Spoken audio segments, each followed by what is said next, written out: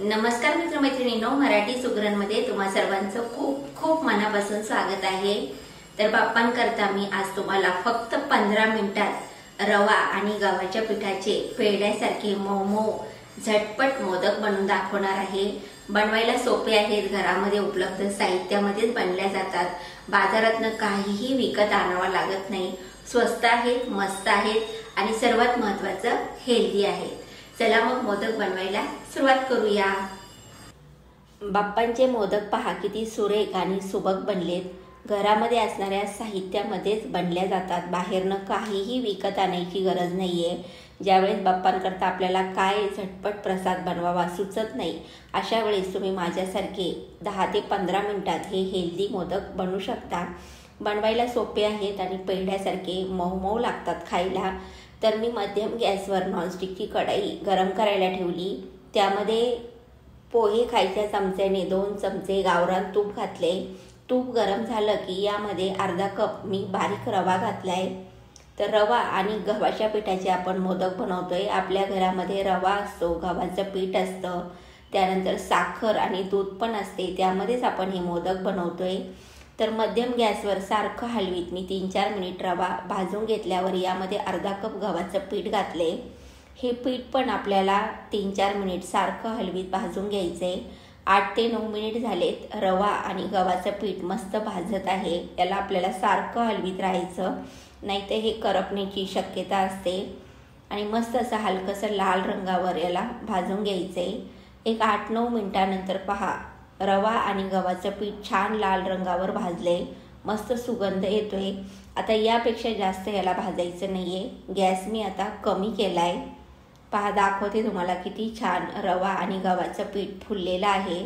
आता यामध्ये मी पाव कप दुधावरची साय आणि थोडंसं दूध घातले भरभर आता याला मिक्स करून घेऊया. तर आपलं मोदकचं जे मिश्रण आहे थोडंसं ओलसर झाले तर यामध्ये आता मी याच कपानं पाऊण कप पिठी साखर घातली.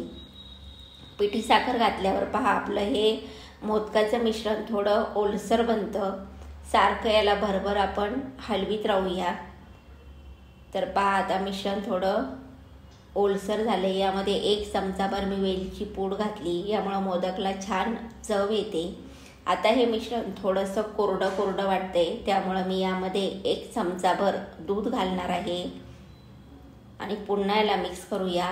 तर पहा आता हे मोदकचं मिश्रण थोडं ओलसर झाले मोदक बनवता येतील असं बनले.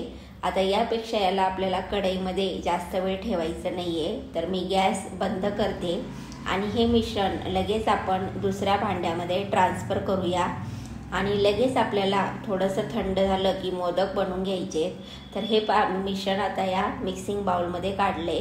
थोडंसं मिश्रण या साच्यामध्ये भरल्यावर हे पहा थोडीशी आतमध्ये जागा केल्यावर यामध्ये छोट्या चमच्याने गुलकंद भरला आहे वरनं पुन्हा हे मिश्रण घालूया आणि याला प्लेन करून आपण मोदक बनवूया तर थोडेसे वेगळ्या प्रकारचे मोदक आहेत पण गुलकंद फ्लेवरने खूप टेस्टी लागतात खायला.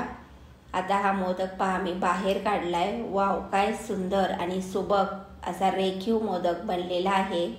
आणि किती झटपट एक दहा ते बारा मिनटातच मी तुम्हाला हा मोदक बनवून दाखवला आहे पहा पेढ्यासारखा मऊ मऊ झाला आहे आणखीन एक मोदक मी तुम्हाला बनवून दाखवते. आणि हे मोदकचं मिश्रण खूप थंड करायचं नाही आहे नाही तर मग हे कडक बनतं. जर तुम्हाला वाटलं हे मिश्रण खूप असं कडक झाले तर थोडं दुधाचा शिपका मारून तुम्ही हे मोदक बनवू शकता. बिलकुल अवघड नाही आहेत बनवायला. खूप सोपे आहेत झटपट बनतात. आता हे मोदक तुम्ही एखाद्या डब्यामध्ये भरून फ्रीजमध्ये ठेवा. तीन ते चार दिवस व्यवस्थित राहतात. यापेक्षा जास्त दिवस ठेवू नका कारण आपण यामध्ये दूध घातलेलं आहे. तर बाप्पांकरता तुम्ही माझ्यासारखे मोदक नक्की बनवा. गणपती बाप्पाच्या मराठी सुगरणकडून तुम्हाला खूप खूप शुभेच्छा. तर तुम्हाला माझे हे मोदक कसे वाटले कमेंट्स करून नक्की सांगा. आणि तुमच्या बाप्पांकरता माझ्यासारखे हे मोदक नक्की बनवा. खाऊन पहा. खूप आवडतील तुम्हाला. तुम्हाला माझे मोदक आवडले असले तर लाईक करा शेअर करा.